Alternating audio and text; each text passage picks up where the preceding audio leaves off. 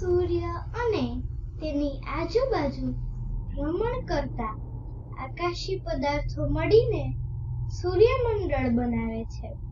સૂર્યમંડળમાં ગ્રહો, ઉપગ્રહો, ધૂમકેતુ તથા ઉલ્કાઓ જેવા પદાર્થો આવેલા હોય છે.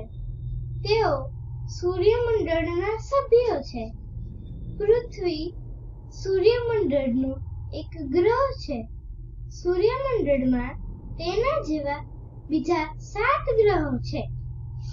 તો ચાલો આપણે બધા સૂર્યમંડળની સફરે જઈએ.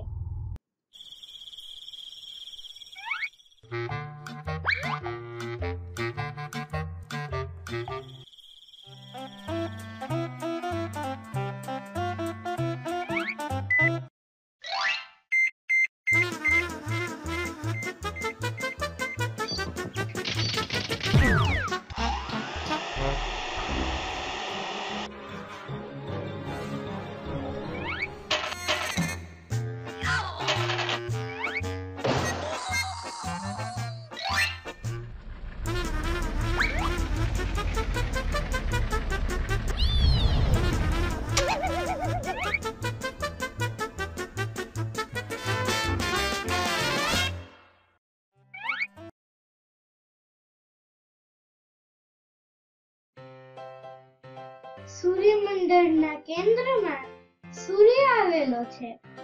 સૂર્ય આપણી સૌથી નજીકનો તારો છે.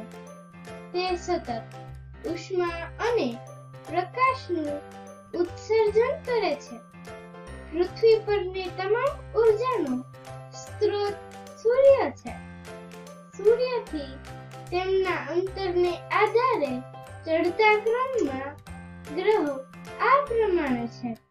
બુધ, શુક્ર, પૃથ્વી, મંગળ, ગુરુ, શનિ, યુરેનસ અને નેપચ્યુન. આ બધા ગ્રહો સૂર્યની આસપાસ નિશ્ચિત માર્ગ પર પરિક્રમણ કરે છે. આ માર્ગને ગ્રહની કક્ષા કહે છે. બુધ સૂર્યમંડળનો સૌથી નાનો ગ્રહ છે. બુધ સૂર્યની સૌથી નજીક હોવાથી તે દિવસ દરમિયાન અત્યંત ગરમ અને રાત્રે અત્યંત ઠંડો હોય છે. બીજો ગ્રહ શુક્ર.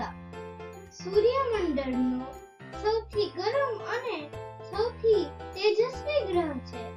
તે સૂર્યોદય પહેલા પૂર્વ આકાશમાં અને સૂર્યાસ્ત પછી તરત પશ્ચિમ આકાશમાં દેખાતો હોવાથી તેને સવારનો તારો કે સાંજનો તારો કહે છે. સૂર્યમંડળમાં ત્રીજા ક્રમે આવતો ગ્રહ આપણી પૃથ્વી છે. પૃથ્વીની સપાટીનો લગભગ સિત્તેર ટકા ભાગ પાણીથી ઢંકાયેલો છે. તેથી પૃથ્વીને બ્લુ પ્લેનેટ પણ કહેવામાં આવે છે. સૂર્યમંડળમાં માત્ર પૃથ્વી જેવો ગ્રહ છે, જેના પર જીવનનું અસ્તિત્વ જોવા મળ્યું છે. સૂર્યમંડળનો ચોથો ગ્રહ મંગળ છે. તેના પરની લાલ માટી અને ખડકોને લીધે તે થોડો લાલાશ પડતો દેખાય છે. તેથી તેને લાલ ગ્રહ પણ કહેવામાં આવે છે. પાંચમો ગ્રહ ગુરુ સૂર્યમંડળનો સૌથી મોટો ગ્રહ છે. તે એટલો વિશાળ ગ્રહ છે કે તેની અંદર એક હજાર ત્રણસો પૃથ્વીઓ સમાવી શકાય. છઠ્ઠો ગ્રહ શનિ સૂર્યમંડળનો બીજા ક્રમનો મોટો ગ્રહ છે. તે પીડાશ પડતો દેખાય છે. તેની આસપાસ ધૂળ અને બરફના બનેલા સુંદર વલયો આવેલા હોવાથી તે ખૂબ સુંદર દેખાય છે. સાતમો ગ્રહ યુરેનસ છે. તેની ફરતે વાયુનું ઘટ આવરણ રહેલું છે. તે ખૂબ વધારે સુકેલી ધરી ધરાવે છે. આઠમો ગ્રહ નેપચ્યુન છે.